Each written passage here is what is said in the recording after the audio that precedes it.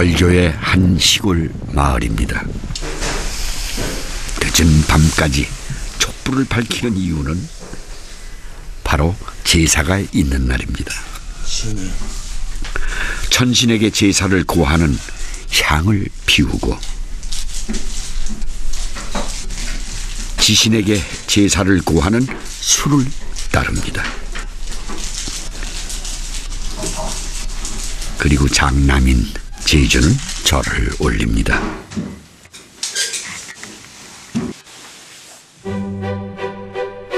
정성으로 음식을 차리고 조상을 메시는 자리. 벌교 사람들은 직접 채취한 꼬막을 조상에게 바칩니다. 이들이 꼬막을 제사상에 올리는 이유는 무엇일까요? 이 지역뿐만이 아니고 우리 남도 제사의 제찬으로 그 꼬막이 오르지 않으면 그 제사를 걸게 모셨다. 우리가 잘 모셨다 이야기할 수 없을 만큼 중요한 제찬 중에 한 가지죠. 깊은 갯벌 속에서 야생으로 자랐습니다. 이 사람들에게 꼬막은 수백 년 동안 그들의 생명을 지켜준 귀한 밥상입니다.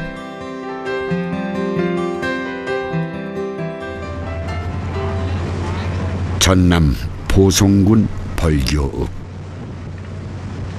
작은 읍내에 불과하지만 벌교란 이름은 우리에게 낯설지가 않습니다.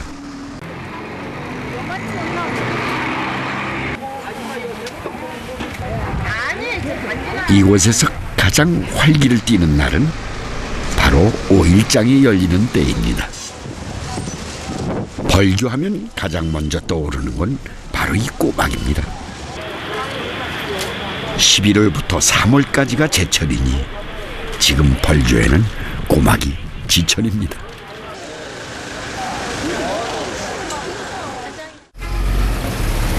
이 여자만에서 자란 어패류들이 모두 한 자리에 모여 있습니다. 그 중에서도 가장 귀하게 거래되는 게 바로 이 꼬막입니다.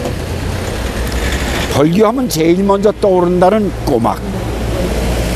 벌교 사람들의 밥상은 어떤 것인가 한번 만나보도록 하겠습니다. 그러면 2만 원, 만 원. 이거는 만 원, 이거 2만 원. 이렇게 사세요. 요즘 손님들이 많아요. 어때요? 네, 꼬막 손님. 찾으러 오는 손님. 겁나게 많아요. 요즘 제철이라서요. 여물고 맛있다고. 겁나게 많이 와요. 주로 뭐 어떤 거 찾으러 많이 오세요? 벌도 참고막 찾으러 많이 와요. 아, 그죠. 네. 2만 5천 원. 15,000원, 이거는 5만 5천 원 이렇게 얘기했는데 맛이 틀리죠 이거지? 그렇죠. 청양차고 역하고 맛이 틀리죠. 해주세요. 여기 전국 일주하고 오늘 내려가는 길이거든요. 내려가는 길인데 제주도에도 물론 꼬막은 있는데 어, 꼬막은 역시 벌교다 이런 얘기를 많이 하기 때문에 화순 콘도에 있다가 이제 가는 길에 돌아서 여기 들려서 꼬막만을 목적으로 우리 지금 벌교에 왔습니다. 벌교와 장흥을 비롯한 남도연안 그 중에서도 벌교 여자만 일대는 갈대숲이 오염을 막아 청정바다를 이룹니다.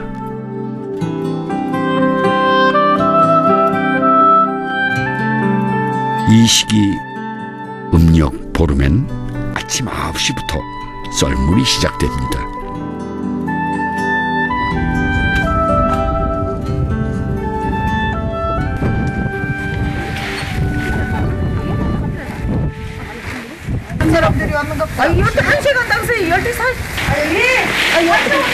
장미 먼저 살핀 후 두툼한 버선 신고 비닐 장갑에 창넓은 모자까지.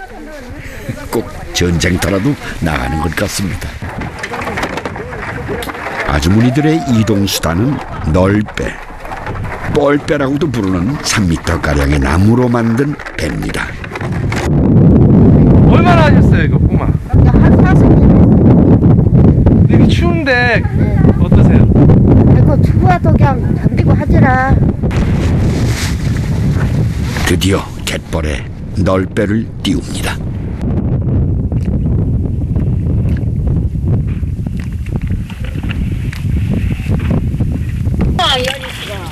오른다리로 노를 저어 힘차게 앞으로 나아갑니다.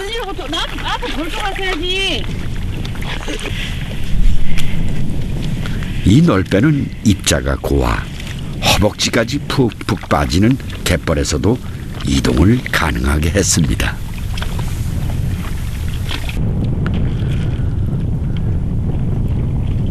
이렇게 매서운 바람을 뚫고 30여 번 가까이 달리고 나서야 자리를 잡습니다.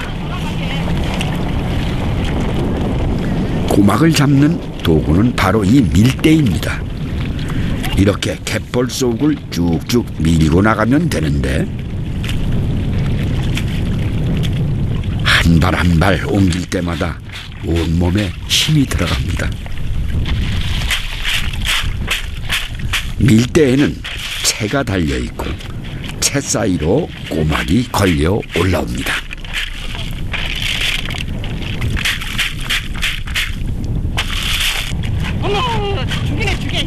망망한 갯벌에서 10cm 깊이에 숨어 있는 꼬막을 캐내야 하는 게 여간 고역이 아닙니다.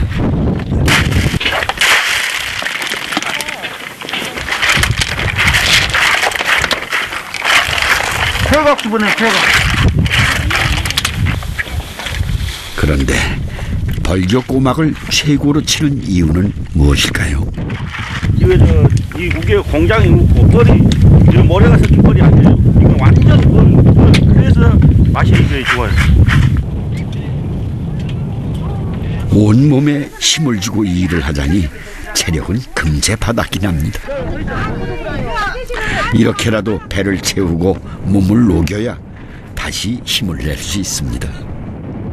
아다시피 지금 성애가 이렇게 끼어 있고 막 얼음이 얼어 있기 때문에 춥잖아요. 늘도 잘 나가지 않고. 그러니까 지금은 그래도 이렇게 벼옷이라도 있고 고무장갑도 다 끼고 이렇게 하니까 덜 춥잖아요. 그래도 힘들죠. 이, 이 옷이 다 무거우니까. 얼마나 힘들어요. 근데 옛날에 비하면은 지금은 이제 변한 편이지만 그래도 추워요, 겨울에. 지금도 벌기에서만 약 3,500여 톤의 꼬막을 채취합니다. 우리나라 전체 꼬막의 약 70%에 달하는 양이죠. 중국의 저장성과 원조우의 낙청만 갯벌 일대 그리고 일본의 이시가와현 갯벌인데 우리나라는 남해안의 벌교, 강진, 고흥에서 서식을 합니다. 예전에는 서해안이나 남해안이 주산지였습니다.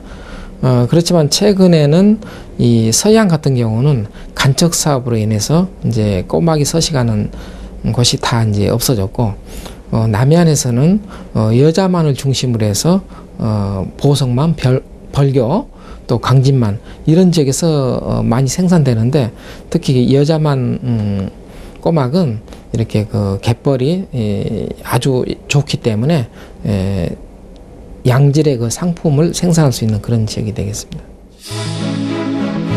꼬막하면 갯벌에서 나는 창구멍만 있는 줄 알았는데 새꼬막도 있고 피꼬막도 있습니다. 이게 바로 제사상에 오른다는 참꼬막입니다. 새꼬막은 하찮다 하여 개꼬막, 똥꼬막으로 부르기도 합니다. 그리고 피가 많다고 피꼬막, 피조개입니다.